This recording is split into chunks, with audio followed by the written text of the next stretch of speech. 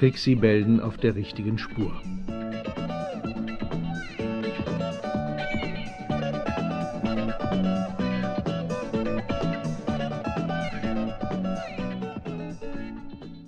Mami, Mami, Brigitte Willer und ich fahren mit dem Wohnwagen los. Ihre Erzieherin kommt mit. Wir wollen Uli suchen. Er ist schon wieder weggelaufen. Moment, Moment. Wovon in aller Welt redest du, Trixie? Ach, Uli Frank ist der Großneffe vom alten Herrn Frank. Der alte Herr Frank ist gestorben und Uli ist Alleinerbe. Ach, man hat also endlich die Erben gefunden. Mhm. Als Paps und ich an die See fuhren, suchte man noch nach der Witwe und ihrem Sohn. Ulis Mutter ist tot und von seinem Stiefvater ist er weggelaufen. Der hat ihn geschlagen und schlecht behandelt. Brigitte und ich haben Uli gefunden, in dem alten Landhaus. Wir haben ihm immer etwas zu essen gebracht. Nun ist er auch von da weggelaufen. Stell dir vor, Mami, das alte Landhaus ist heute Nacht bis auf die Grundmauern abgebrannt. Na, das morsche Haus muss ja wie Zunder gebrannt haben. Bei dem Wind hätte das Feuer leicht auch auf unser Haus übergreifen können. Ja, davor hatten wir auch Angst, besonders die Feuerwehr. Du, Mami, als Brigitte und ich heute Morgen noch mal bei dem abgebrannten Haus waren, trafen wir Herrn Rahn. Wer ist denn nun wieder heran? Das ist doch der Vermögensverwalter von Herrn Frank. Ach, Er sucht auch nach Uli. auch? Ja, du, Brigitte und ich wollen mit Villas Wohnwagen eine Suchaktion starten. Bitte, Mami, sag, dass ich mitfahren darf, bitte. Fräulein Trasch, Brigittes Hauslehrerin fährt sehr sicher. Sie ist eine unheimlich nette Frau. Und Brigittes Eltern haben es auch erlaubt. Da kann Herr Rahn sich aber freuen, so tolle Hilfe gefunden zu haben. Na ja, wenn Brigittes Eltern nichts einzuwenden haben, kann ich wohl auch nicht Nein sagen. Ich verstehe nur nicht, warum Herr Rahn keinen Detektiven eingeschaltet hat. Und da denkt Uli, das hat sein Stiefvater ausgeheckt. Und dann verschwindet er auf Nimmerwiedersehen. Aha, wenn er aber hört, dass zwei nette Mädchen ihn suchen, wird er keine Angst haben, was? Genau, er vertraut Brigitte und mir. Aber vor seinem Stiefvater hat er eine höllische Angst. Meinetwegen, fahr mit, Trixie. Wir wollen doch alle Uli helfen. Wie lange wollt ihr denn wegbleiben? Noch nur ein paar Tage. Wir ahnen schon, wo er stecken könnte. Er will später mal ein Lager einrichten für Waisenkinder. Dann lauf los, mein kleiner Detektiv. Pack deine Sachen zusammen. Trixie rannte so schnell sie konnte den Hügel hinauf zum Herrenhaus der Familie Villa. Und wenig später saßen die Mädchen zusammen mit Fräulein Trasch in einer großen silbergrauen Limousine. Trixies irischer Setter Tobby und Brigittes Spaniel Fips waren auch mit von der Partie. Ach, tut mir leid, Kinder, dass wir wie die Schnecken kriechen. Ich habe das Gefühl, als ob ich einen Elefanten schleppen muss und keinen Wohnwagen. Ach, Fräulein Trasch, wir haben Trixie noch nichts erzählt von dem Platz, der unser Stammquartier wird. ah ja, Siehst du hier auf der Karte das kleine Dorf, Trixie? Zeig mal. Hier liegen einige Bauernhöfe. Und das da ist der Campingplatz Autostadt. Gar nicht weit davon ist eine Reitschule, da können wir Pferde mieten und zu den Lagern reiten, von denen Uli uns erzählt hat. Die Lager Tannenschlucht und Ochsenhof sind ganz nah. Der Binsenkorb liegt etwas weiter weg. Ah, das wird ein Mordspaß. Überall hinreiten. Oh, Brigitte, ich freue mich. Es dauerte nicht mehr lange und sie fuhren auf den kleinen Campingplatz. Der Besitzer wies ihnen einen Platz neben einem großen roten Wohnwagen zu. Ein Mann mit struppigem schwarzen Haar kam gerade heraus. Rubin steht an der Eingangstür. So sieht der Wagen auch aus. Komisch. Wie kommt ein so armer Mann in einen solchen tollen Wohnwagen? Vielleicht ist es nur der Fahrer. Guck mal da. Wo? Ein kleines Mädchen schiebt sich vorsichtig durch den engen Türspalt. Oh, das süße Hündchen. Hm. Das ist mein Hund. Nein, mein Hund. Alle schwarzen Hunde gehören mir. Susi! Susi, komm sofort herein. Du weißt doch, dass du nicht mit fremden Leuten sprechen darfst. Ich komme nicht rein. Ich mag nicht im Wagen sein. Susi, hörst du wohl? Marsch hinein mit dir, aber ein bisschen Dalli. Hopp, hopp. Oh je. Und hast du schon mal eine so komische Familie getroffen, Brigitte? Alle waren im Wohnwagen eingeschlossen. Und das Baby auf dem Arm der Frau sieht ja zum Erbarmen aus. Hoffentlich kriegt es jetzt Milch. Die sehen alle verhungert aus. Trotzdem müssen sie ja Geld haben, wenn sie einen solchen Wohnwagen fahren. Aber vielleicht ist der Struppelkopf ein Geizkragen und lässt seine Familie hungern. hallo Kinder. Hallo. Und was ist mit dem Essen? Ich bin so müde, dass ich nicht einmal ein Ei kochen könnte. Überrascht ihr mich mit einem feinen Abendbrot? Na klar. Danke. Sollen wir eine Dose Rindfleisch aufmachen? Vielleicht nehmen wir Erbsen und Pilze dazu. Mhm. Das lassen wir alles zusammen im Topf brutzeln. Na, gefällt dir das? Ja, und ob? Fräulein Trasch bestimmt auch. Hier haben wir noch eine Flasche Apfelsaft. Am späten Abend begann es zu regnen. Trixie ließ die Beine über die Bettkante hängen und blinzelte verschlafen. Es gibt nichts Gemütlicheres, als warm und kuschelig im Bett zu liegen, wenn es draußen regnet. Und vor allem müssen wir bald Uli finden. Hey, Brigitte! Die schläft auch schon wie ein Murmeltier.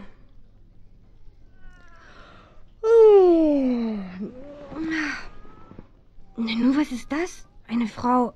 Du musst ihn zurückbringen, ehe es zu spät ist. Wir hätten es nicht tun sollen. Sei doch nicht so töricht. Wir müssen so weitermachen. Es wird keiner erfahren. Das bewächst die Kinder. Das gefällt mir. Meine eigene Familie ist gegen mich.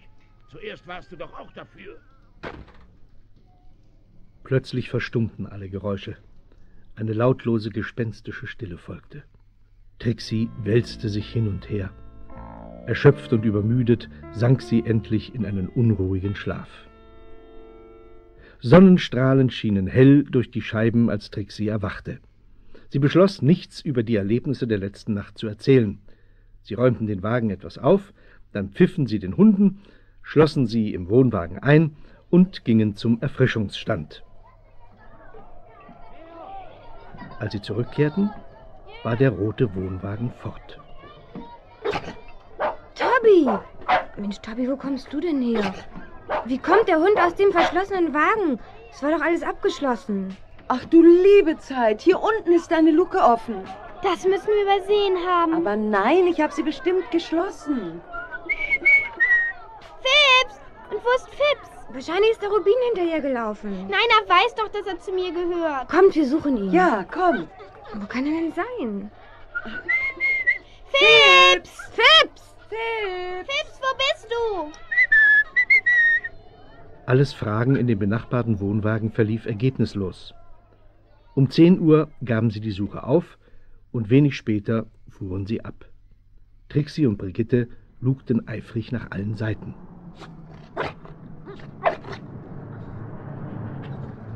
Siehst du, was ich sehe, Brigitte? Da unter den Bäumen. Ist das nicht der Rubin? Aber ja, das ist er. Wir wollen sowieso dort unten am See picknicken und schwimmen. Ihr könnt ja gleich mal fragen. Mhm. Vielleicht haben die den Fips gesehen. Brigitte und Trixie stürmten davon. Auf halbem Weg kam ihnen ein Mädchen entgegengelaufen. Sie erkannten Susi. Atemlos hielt sie vor ihnen an. In ihren Armen kuschelte sich, als ob er dorthin gehörte, Fips. Fips, oh Fips. Da bist du ja. Ist euch nachgelaufen? Ich hab ihn so lieb. Ich hab ihn einfach in unserem Wagen versteckt. Als ich euch gesehen hab. Es tut mir so leid. Wir haben versehentlich eine Luke offen gelassen. Nein. Aber wir könnten uns sowieso keinen Hund leisten. Ach je, die tut mir richtig leid. Aber da können wir uns nicht einmischen.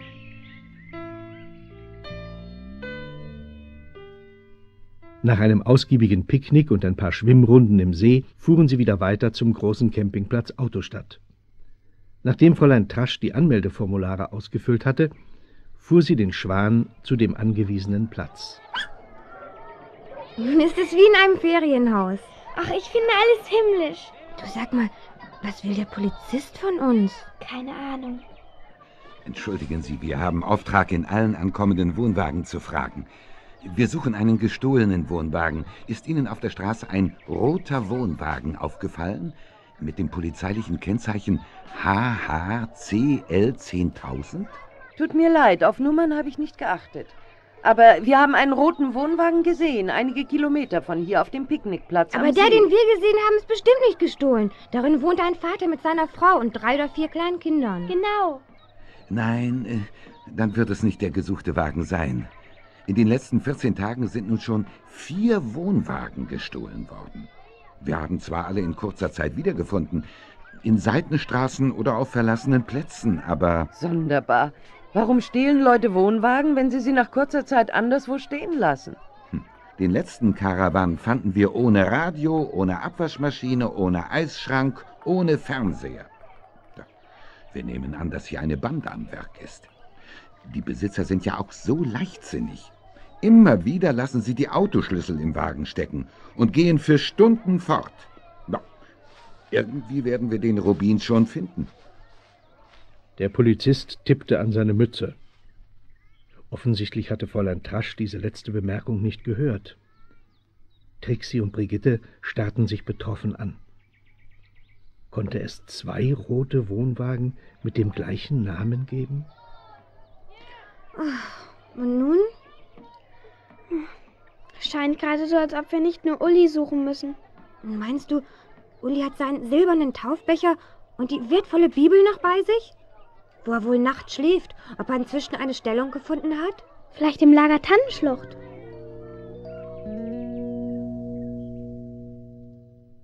Am nächsten Morgen, gleich nach dem Frühstück, gingen die beiden Mädchen zur Reitschule und borgten sich zwei Pferde. Im leichten Galopp ritten sie einen Waldweg entlang, der schließlich in eine Asphaltstraße mündete. Ah, da konnten sie das Lager ja schon sehen. Um einen See herum standen mehrere Häuser zwischen hohen Tannen. Im Wasser tummelten sich viele Jungen.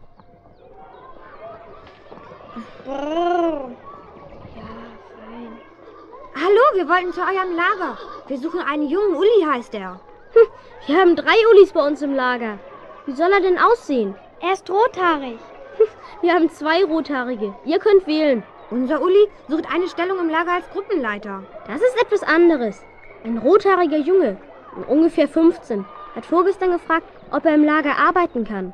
Seinen Namen hat er aber nicht genannt. Ja, das könnte unser Freund sein. Hat er Arbeit bekommen? Leider nicht. Im Augenblick wird hier niemand gebraucht. Er schwang sich gleich wieder auf sein Fahrrad und fuhr weiter in Richtung Hauptstraße. Danke, das hilft uns schon weiter.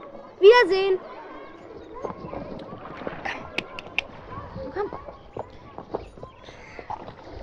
Du, nun wissen wir wenigstens, dass Uli wirklich in einem Lager arbeiten will. Vielleicht ist er im Ochsenhof. Hoffentlich. Da müssen wir morgen unbedingt hinreiten.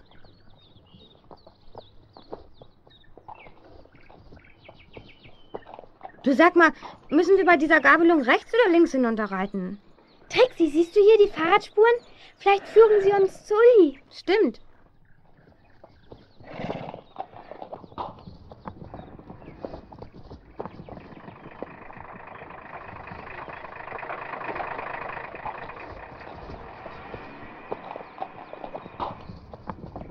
Der Laster kam nicht von der Straße. Er stand dort in der Lichtung zwischen den Bäumen. Was? Hast du den Mann am Steuer gesehen? Er hatte genauso struppiges Haar wie Susis Vater und der Beifahrer sah genauso aus wie der Kellner aus dem Restaurant Autostadt, der, der mich gestern Abend so unverschämt angerempelt hat. Na hör mal, Trixie. Schließlich haben viele Leute struppige Haare. Und ich finde, dass ein Kellner wie der andere aussieht. Brrr, Brrr, was ist denn? sieh dir mal alle diese Zweige an. Die waren bestimmt Tarnung für den Laster. Wieso? Wie kommst du darauf? Da ist doch ein ganzer Haufen Zweige gestapelt. Und daneben liegt ein altes Tennisnetz, fein zusammengefaltet. Ja und? Ach, verstehst du denn nicht, Brigitte? Sonnenklar! Hier fahren die Laster rückwärts herein. Dann ziehen sie das Netz zwischen die Bäume, stopfen Zweige und Büsche zwischen die Maschen des Netzes und fertig ist ihr Versteck. Kein Mensch ahnt, dass hinter diesem Gebüsch ein Laster steht. Eine geschickte Räuberhöhle. In den Lastwagen befördern sie dann gestohlene Sachen. Wie grässlich. Müssen wir das nicht der Polizei melden? Nein, jetzt noch nicht. Wir kommen ein andermal hier und sehen nach, ob der Laster wieder hier verborgen ist. Stell dir vor, die Männer entdecken uns, wenn wir hier herumsuchen. Ach, bange machen gilt nicht. Im Übrigen bekommen wir Regen. Wir sollten lieber zurückreiten. Na komm.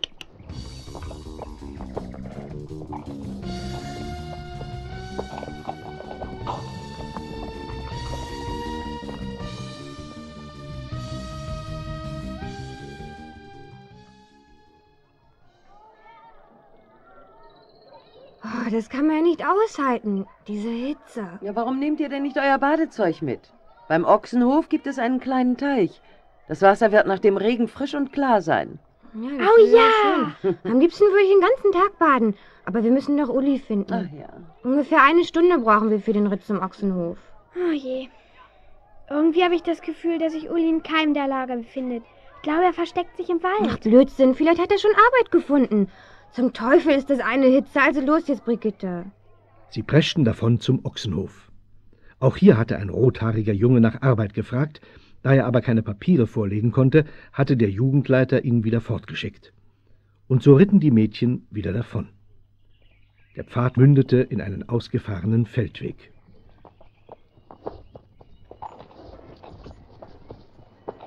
Glaube, wir sind hier auf Privatgrund. Ich höre Hundegebell. Hoffentlich kommt er hier nicht angewetzt und macht uns die Pferde scheu. Ruhig, Cäsar. Da kommt er schon. Als Cäsar den Schäferhund sah, scheute er für den Bruchteil einer Sekunde, bäumte sich auf und jagte davon. Wie wahnsinnig galoppierte der sonst so ruhige Prinz mit Trixie hinterher. Der Schäferhund blieb ihnen auf den Fersen. Trixie konnte ihr Pferd kaum mehr bändigen, aber da mit letzter Gewalt riss sie an den Zügeln. Endlich, vor einem hübschen Bauernhaus, brachte sie ihn zum Stehen. Doch in diesem Moment stieß ein gewaltiger Rabe aus dem Geäst eines Kirschbaumes herab, mit bösem Kra, Kra, Kra schlug er die Schwingen. Das Pferd bäumte sich auf, warf Trixie ab und raste davon. Jessie, hierher! Pfui, du böser Hund, wirst du wohl nicht so bellen? Keine Angst, Kleine. Der Hund tut keiner Fliege was zu. Ach du armes Hühnchen, ich habe alles mit angesehen. Der Rabe hat Schuld. Dieser schwarze Satansbraten. Warte du, wenn ich dich erwische. Dann landest du im Kochtopf. Hast du dir wehgetan, Puttchen? Na, danke, mir geht's gut. Aber vor Ihrem Liebling, dem Raben, habe ich Angst. Mein Liebling? Ich höre wohl nichts richtig. Mein Mann hat diesen Satansbraten aufgesammelt und ins Haus gebracht. Der Vogel weiß genau, dass ich ihn nicht leiden kann. So, nun komm erst mal mit herein und trink ein Glas Limonade, ja?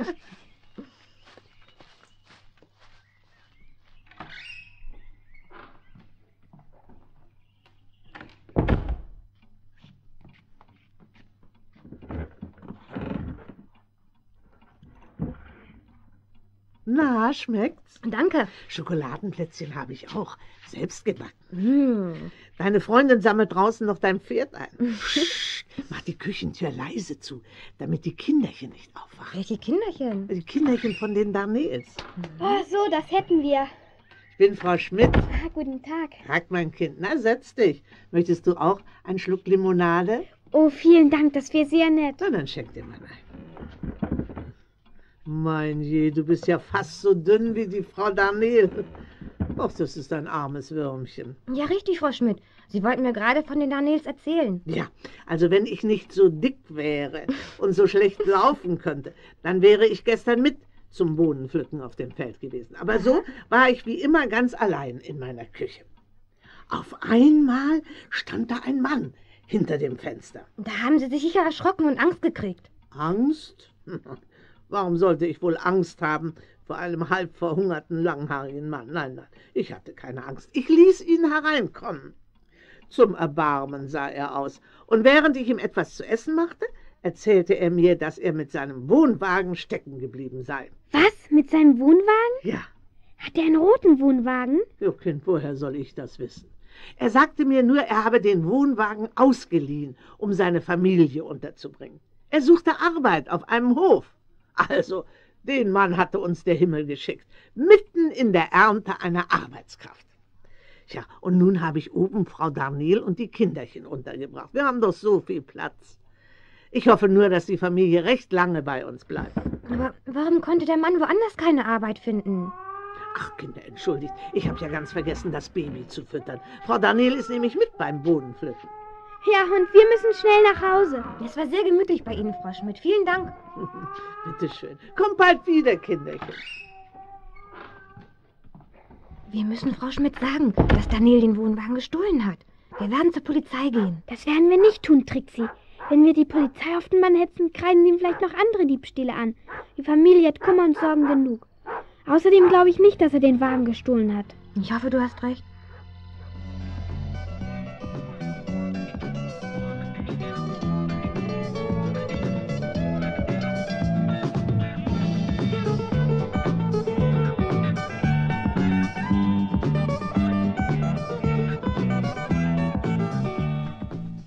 Am nächsten Morgen war Trixie schon ganz früh und allein unterwegs. Sie wollte Schmidts Hof und die nähere Umgebung genauer unter die Lupe nehmen. Sie rannte durch den Wald und hielt plötzlich überrascht inne, als sie sich vor dem Versteck des Lastwagens befand. Kein Netz war mehr zu sehen, Zweige und Äste lagen verstreut umher.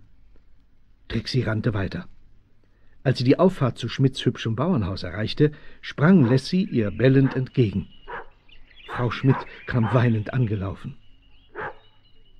Ach, Puttchen, wie gut, dass du kommst. Komm herein. Mhm. Oh, Puttchen.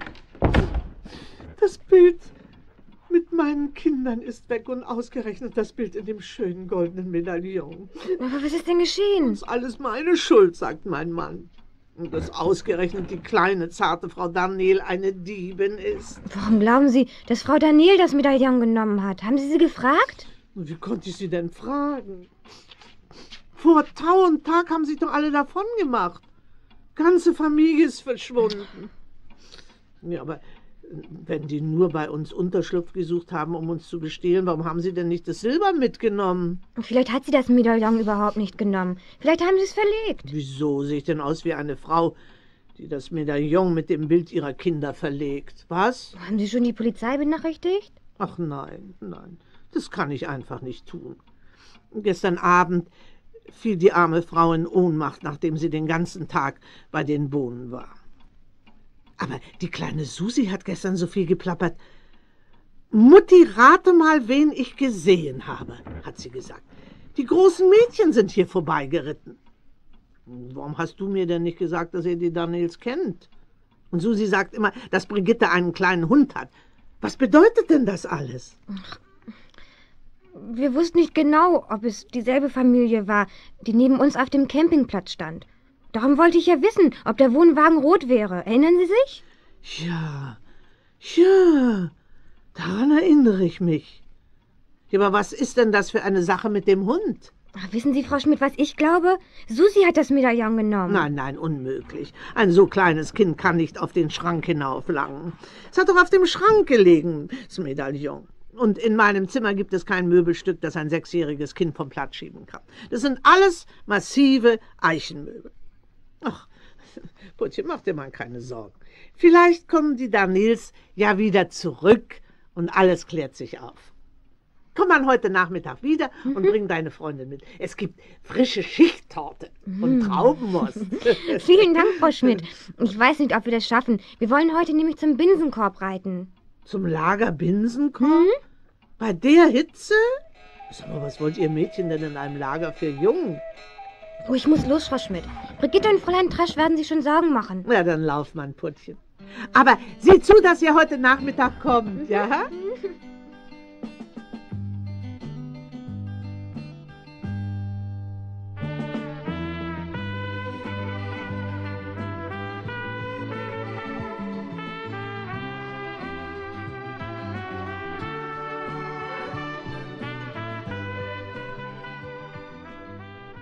Es war kurz nach zehn, als die Mädchen zum Lager Binsenkorb ritten. Wie am Vortage summten Fliegen um die Nüstern der Pferde und machten sie sehr unruhig. Unterwegs berichtete Trixie ihrer Freundin die ganze Geschichte von den Darnels. Was ist das für ein Durcheinander? Ich kann mir keinen Vers drauf machen. Mir leuchtet es ein. Daniels mussten flüchten, nachdem Susi erzählte, dass sie uns gesehen hat. Sie werden längst gehört haben, dass man Rubin sucht.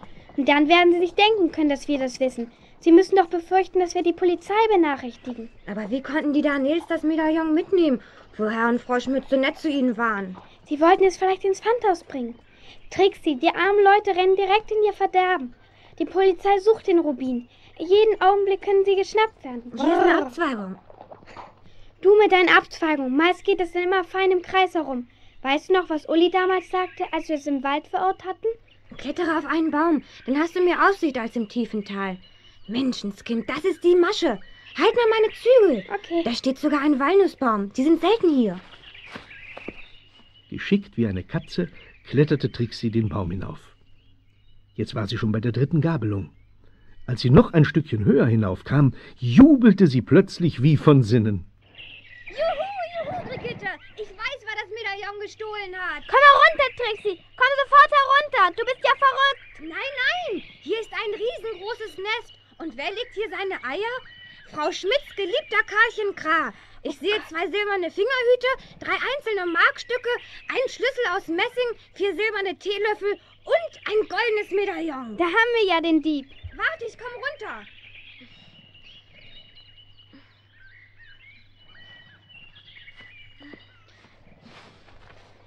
Du, Brigitte, nun guck dir das mal an. Zeig doch mal. Sicher ist Karlchen Kra gestern Morgen unbeobachtet ins Wohnzimmer geflogen und hat stibitzt. Menschenskind. Los, Brigitte, lass uns schnell zu Frau Schmidt reiten. Ja, schnell.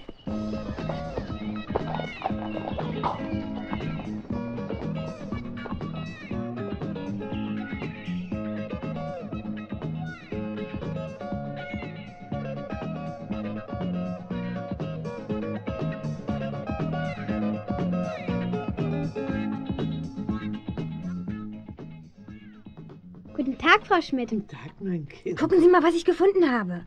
Oh, Puttchen. Wo hast du denn das gefunden? Im Nest von Karlchen Kra. Oben im Walnussbaum hütet er seine Schätze. Also du meine Güte, dieser alte Satansbraten hätte ja fast unschuldige Leute ins Gefängnis Mhm. gebracht. Aber warte, Karlchen Kra, dieses Mal hat's dich erwischt. Jetzt landest du im Kochtopf. Und ich habe die arme kleine Frau Daniel verdächtigt. So, aber nun greift erst mal kräftig zu. Kuchen und Traubensaft. Ja, danke. Vielen Dank. Schmeckt's Lecker. euch? Ja. Ganz toll. Schön. Ach, Kinder, bin ich froh. Ich konnte es mir ja auch gar nicht vorstellen. Denkt euch mal, heute Morgen kam ein netter, kräftiger Bursche, der Arbeit suchte. Nun haben Sie doch noch Hilfe bei der Bohnenernte. Ja, und er scheint mit der Arbeit auf einem Hof vertraut zu sein. Fein, dass Sie auch diese Sorge los sind, Frau Schmidt. Ja, nicht wahr? Wir müssen ganz schnell aufbrechen. Jede Minute kann es anfangen zu gießen.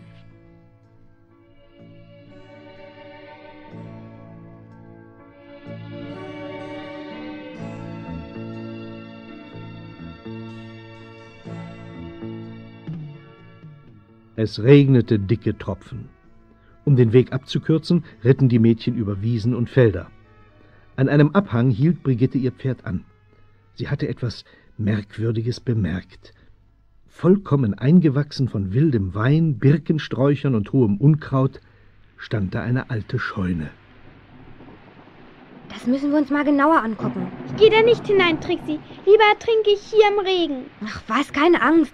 Da drin ist bestimmt kein Mensch. Komm doch schon. Ja. Ruhig. Na, komm in die Scheune. Da können wir das Gewitter abwarten. Okay.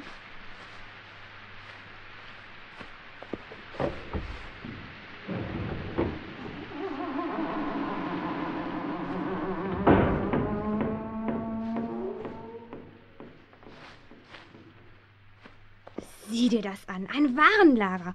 Eisschränke, Waschmaschinen, Elektroöfen, Radioapparate, Donnerwetter und da... Bitte sei still, Trixie. Ich glaube, es kommt jemand. Los, schnell dahin, auf, auf den Heuboden. Die Leiter ist so morsch. Sie wird zusammenbrechen. Ich hab Angst. Schnell, sei doch vernünftig. Mit zitternden Beinen kletterte Brigitte die Leiter zum Heuboden hinauf. Trixie folgte. Die alten Holzdielen oben hatten viele Löcher. Vorsichtig schob sich Trixie voran. Sie wischte das Heu beiseite, bis sie durch einen Spalt nach unten sehen konnte. Der Kellner aus dem Restaurant Autostadt stand im Eingang. Ein zweiter Mann drängte sich hinter ihm in die Scheune. Und was ist mit dem rothaarigen Jungen? Der Junge interessiert mich überhaupt nicht. Ich klettere erstmal auf den Heuboden. Ich will wissen, ob der lause Junge wieder da oben ist. Mit dem habe ich noch ein Hühnchen zu rupfen. Du blöden Michel. Der Junge ist nicht da oben. Der hat genauso Angst vor der Polizei wie wir. Los, hol den Wagenheber, den du Dussel hier liegen gelassen hast. Der Lastwagen nützt uns gar nichts, wenn er mit Plattfuß auf der Straße steht. Hey, pass auf, wen du hier Blödmichel nennst, Edo. Ich hab bald genug von deinem Herumkommandieren. Also, halbe halbe haben wir abgemacht. Halbe, halbe? Dass ich nicht lache. Sei froh, wenn ich dir ein Drittel gebe, du Halbidiot. Du elender Betrüger. Wer hat rumgehorcht, wo die Wohnwagen hinfahren? Mir langt's. Wie wir den Reifen gewechselt haben, laden wir den Laster voll. Dann fahr ich los. Und wenn ich den Kram verkauft habe, kriegst du deinen Anteil. Und dann ist der Ofen aus, verstanden? Wo ist der Wagenheber? Ich wusste doch, ich habe ihn nicht liegen gelassen, Edu. Siehst du, er ist nicht da. Ich sage dir, der rothaarige Junge hat den Wagenheber aus dem Wagen genommen und die Ventile losgeschraubt. Darum haben wir jetzt einen Plattfuß. Quatsch doch nicht immer von diesem Jungen. Der ist von der Schule weggelaufen und war froh, dass er sich in der Scheune hier verstecken konnte. Kapierst du das immer noch nicht? Der Junge hat was auf dem Kerbholz. Wer von der Schule wegläuft, hat keinen Silberbecher und keine kostbare Bibel bei sich. Uli. Hey, da ist doch jemand. Runter da!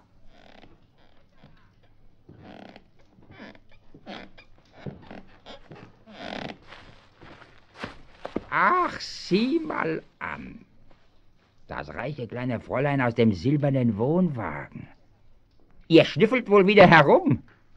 Schlechte Angewohnheit.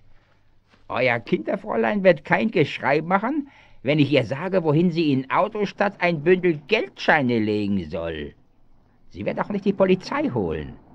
Nicht, wenn ich ihr so eine Strähne von deinem hübschen Haar in einem Brief schicke. Wenn ich Sie wäre, würde ich lieber so schnell wie möglich von hier verschwinden. Die Polizei ist nämlich auf dem Weg zur Scheune. Du bist ja mit allen Wassern gewaschen, Mädchen. Die Polizei, dass ich nicht lache. Die Polizei kennt dieses Versteck nicht. Nein, aber Uli, der rothaarige Junge, der die Ventile an ihren Reifen losgeschraubt hat. Er ist unser Freund, er holt die Polizei. Uli? das hast du dir fein ausgedacht. Ihr kennt ja gar keinen Uli. Aber klar, Sie haben doch den silbernen Becher gesehen, ja? Und was steht drauf eingraviert? Ulrich Anton Frank II., richtig? Hände hoch.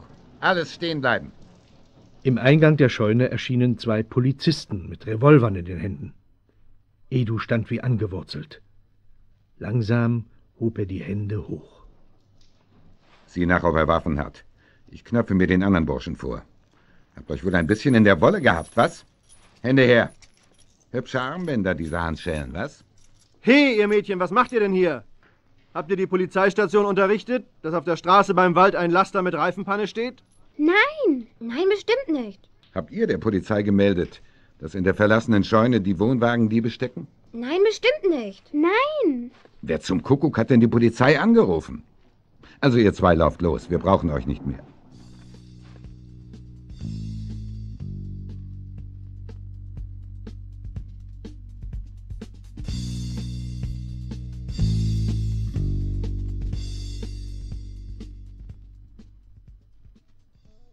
Im Restaurant Autostadt herrschte Trubel. Jeder war erleichtert, dass man endlich die Wohnwagendiebe gefasst hatte. Aufgeregt erzählten die Mädchen von der Entdeckung des Zeltes. Ihre Erlebnisse in der Scheune verschwiegen sie vorerst. Die Polizei kam wirklich im allerletzten Augenblick. Bestimmt hat Uli die angerufen. Ich habe so das Gefühl. Ich wusste, Uli will das irgendwie fertig bringen. Er kann gar nicht weit weg sein. Du sollst mal sehen. Noch heute Nachmittag finden wir ihn. Ihr seht so müde aus, Kinder. Kommt, ruft die Hunde und legt euch bald zu Bett. Die Hunde. Tobi ist hier. Aber wo ist Fips? Ich weiß nicht. Da kommt er ja angesaust. Hey, wo warst du die ganze Nacht, du kleiner Schurke? Nun lauf doch nicht wieder weg. Fips, hierher. Los, komm, Brigitte, hinterher. Lass uns ihn einfangen. Ja. Trixie sauste hinterher den Hügel hinauf. Sie nahm Fips auf den Arm und besah sich die Umgebung sehr aufmerksam. Endlich entdeckte sie unter dichtem Laubwerk am Abhang der kleinen Anhöhe den Rubin. Brigitte, Brigitte, komm schnell! Sieh doch nur! Der Rubin! Fips war bei Susi. Da, da kommt schon Frau Darnel. Ach, ihr schon wieder, ihr Kinder. Geht doch weg. Überall spioniert ihr uns nach. Ihr wusstet, dass Susi in den Hund vernarrt ist. Du hast den Hund auf uns gehetzt, damit er euch zeigt, wo unser Quartier ist. Mein Mann hatte eine so schöne Arbeit bei Schmitz. Aber dann kamt ihr. Ach, er wollte so gern die ganze Bohnenernte mit einbringen. Dann sollte der Wohnwagen zurückgebracht werden zu Herrn Lüders. Lüders? Ach, nun weiß ich, woher ich den Rubin kenne. Dorle Lüders ist in meiner Klasse. Sie wohnen auch in Lindenberg. Ach, es ist doch alles aus. Mein Mann hätte das nie tun dürfen, aber vier kleine Kinder und ich immer krank. Eines Abends kam Herr Lüders bei uns vorbei. Er bat meinen Mann ab und zu ein Auge auf sein Haus zu werfen, während er mit seiner Familie auf Urlaub wäre. Und als er dann hinüberging, um zu gucken, ob alles in Ordnung wäre, fand er in der Garage den Wohnwagen mit dem Auto. Die Versuchung war aber auch zu groß für meinen Mann. Allein konnte er nicht losgehen, Erntearbeit zu suchen. Und ich war zu elend. Und da, Da nahm er eben sie und die Kinder mit und borgte sich den Wohnwagen. Alles in der festen Absicht, ihn zurückzubringen, bevor Lüders zu Hause wären. So war's doch. Ja, aber mein Mann ist sicher schon lange von der Polizei festgenommen. Aber warum denn? Mein Mann hatte eine alte Scheune entdeckt. Sie war voll Diebesgut. Es ließ ihm keine Ruhe. Er wollte unbedingt zur Polizei die Sache mit der Scheune melden, obwohl wir wussten, dass der Rubin gesucht wird. Dann hat also ihr Mann die Polizei auf die Spur gesetzt. Ja, so ist er im Grunde ehrlich und aufrichtig. Im Gebüsch knackte es. Alle drei fuhren vor Schreck zusammen, als ein breitschultriger Polizist vor ihnen stand. Ich wurde unfreiwillig Zeuge Ihres Gesprächs. Ihr Mann hat also die Polizei benachrichtigt in Sachen Wohnwagendiebstähle. Ja, das war mein Mann. Und er fährt auch den roten Wohnwagen Rubin, den die Polizei sucht. Dort steht der Wagen. Nehmen Sie ihn mit. So nehmen Sie doch den Wohnwagen mit. Sachte, sachte, meine Dame, alles schön der Reihe nach. Die Suche nach dem Wohnwagen Rubin ist eingestellt. Als wir Herrn Lüders melden konnten, dass der Rubin nicht von der Gangsterbande gestohlen worden sei, sagte er, ich weiß schon. Ein guter Freund hätte sich für ein paar Tage den Wagen ausgeborgt. Aber jetzt brauchen wir Ihren Mann, kleine Frau. Ganz dringend. Er hat den richtigen Tipp gegeben. Darauf steht eine Belohnung. Das wär's. Guten Morgen. Brigitte und Trixi stürmten durch den Garten auf Schmidts Haus zu. Sie wollten Frau Schmidt alles erzählen.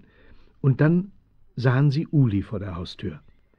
Auf Ulis Schulter saß behäbig Karlchen Krah. Uli! Uli! Trixi und Brigitte hier bei mir. Wie habt ihr es so schnell geschafft, mich zu finden? Ach, ist das schön, euch wiederzusehen. Ach, da seid ihr ja, ihr Mädchen. Darf ich vorstellen, unser bester Bohnenpflücker. Der, von dem Sie uns heute Morgen erzählt haben, Frau Schmidt? Ja, genau der. Und wir suchen und suchen, wir Idioten. Gab das ein Gelächter und eine Freude. Alle fingen auf einmal an zu reden. Es war wie auf dem Jahrmarkt. Warum können wir nicht alles gemütlich bei Frau Schmidt in der Küche erzählen? Oh ja, Plätzchen und Apfelmus. Ja, komm. So, so, nun nimm Platz. Danke. Hier. Apfelmus und Schokoladen. Danke. Danke. Du, Uli, unsere Väter waren auf derselben Schule. Mein Vater will dich adoptieren. Wirklich? Erst einmal muss ich aber die Bohnen fertig abernten. Was denn, adoptieren? Ja. Nein, nein, daraus wird nichts. Gerade habe ich einen Jungen gefunden, den ich wie einen Sohn in mein Herz geschlossen habe. Und nun willst du wieder gehen? Daraus wird nichts. Ulrich Anton Frank. Sie wissen, wer ich bin? Ja, ich bin zwar fett und laufe nicht gern, aber ich lese jeden Tag meine Zeitung. Geht mich ja nichts an, warum du von einer halben Million davon gelaufen bist, mein Junge. Aber ich sehe die Schlagzeilen, Großneffe wird Millionenerbe. Uli, Frank, du bleibst hier, das heißt, wenn du willst. Aber äh, vielleicht willst du erst studieren? Ja, ich möchte studieren. Aber in den Ferien komme ich gern. Zum Erntedankfest im Sommer und Weihnachten auch. Wenn Sie mich wirklich haben wollen, Frau Schmidt. Na und ob? Und ich wollte Uli als Bruder haben. Noch am gleichen Abend erhielt Brigittes Vater ein Blitztelegramm. Papa, sofort kommen. Adoptiere Uli. Du kennst Frau Schmidt nicht. Das ist eine temperamentvolle Frau. Wenn du dich nicht sofort entscheidest, schnappt sie dir Uli vor der Nase weg.